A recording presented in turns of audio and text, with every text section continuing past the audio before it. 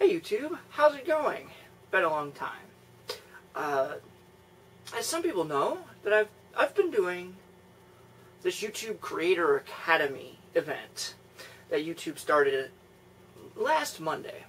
Uh, and I mostly need, and I was in it, and a lot of people have been asking me what I think of this. Uh, personally, I don't like it. I've only finished the first week. I have not done the next three courses. I plan to do that as I'm rendering this video out. I don't think I'll get much out of it. Maybe a little. I didn't get nothing out of the first week, to be completely honest. Uh, here, I'll run you through some of the things.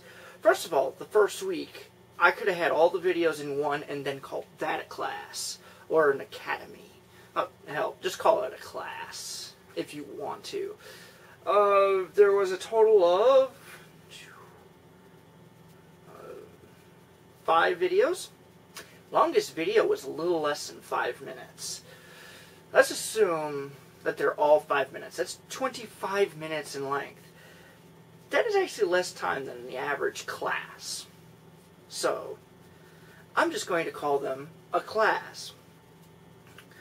And of course, you had the introduction to the course. I figured that was going to be quick. I considered that more of a syllabus or whatever. Uh, subscribers and watch time, which pretty much went through how you actually get your views. You get most of your views from your subscribers, and then people, either your subscribers shared them out, yada yada yada. Most of what I do is tutorials on basic computer help. So those mostly come in through searches.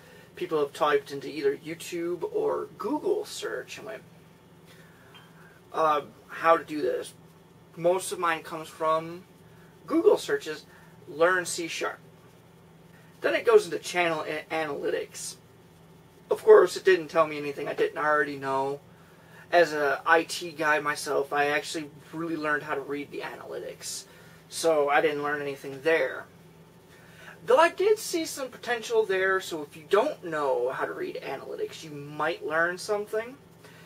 I can't see exactly what though, because they don't tell you anything. They show you a picture and describe a little bit along the side, and then ask you a bunch of questions about it. That one I think was extremely poorly handled. And then you go into lesson two. What makes a channel tick? And then it goes the benefits of design. A lot, well, most YouTubers I know know the importance of this. And then under the hood, which. Hey. Of course, each of these has assessments. I originally thought it was just me at first, because sometimes I don't pay that much attention to something. Uh, but Turns out I'm not the only one that thinks, that has noticed that the assessment tests have absolutely nothing to do with the previous portions. And I'll tell you this right now, I actually failed the first assessment. Um, not because I was trying or anything. I was just going, oh look, I'll just click this. I just decided I was going to click the top answer for each one just to see what it would do. But they allow you to go back, redo it, so. And then, of course, number three, land, land your brand, which teaches you all about branding without teaching you anything about branding. It tells you the importance of branding. It goes a little bit into how to brand, but nothing on branding. At least, not that I noticed. I very well could be wrong, but I just took that before I shot this video. Well, retook it. And of course, I have to laugh. I've started putting crap in the activity answers. I don't think they're reading this because there's like thousands of people enrolled. Uh, the way they presented this in the email to me was it was going to be for a select audience. So I thought it was going to be for a select audience.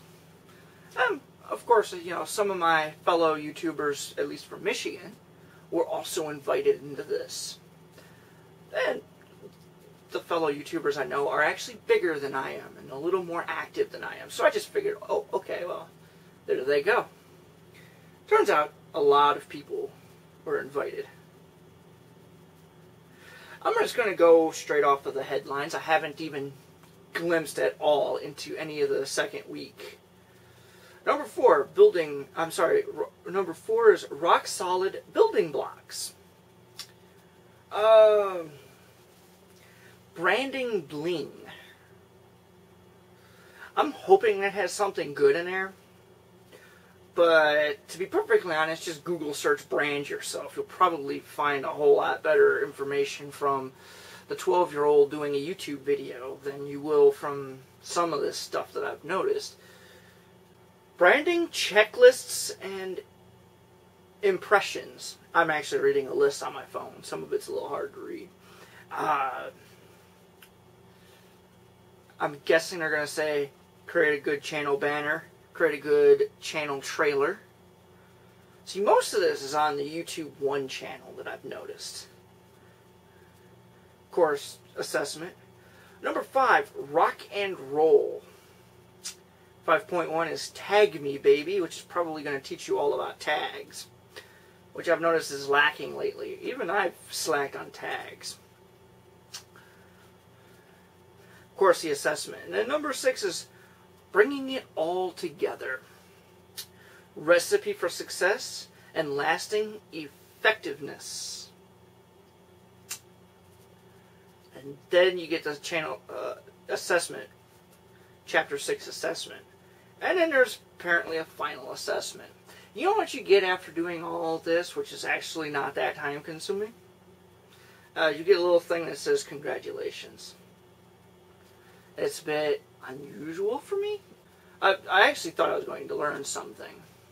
Apparently, eh, this was not much.